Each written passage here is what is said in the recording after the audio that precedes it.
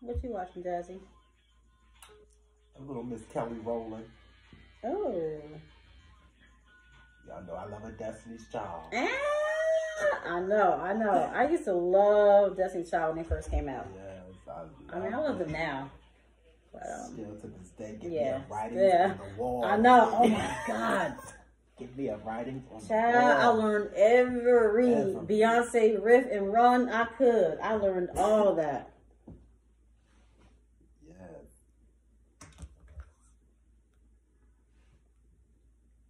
Hmm Give me a Kelly Rowland and a Michelle and a Beyonce. And a Beyonce. Honey.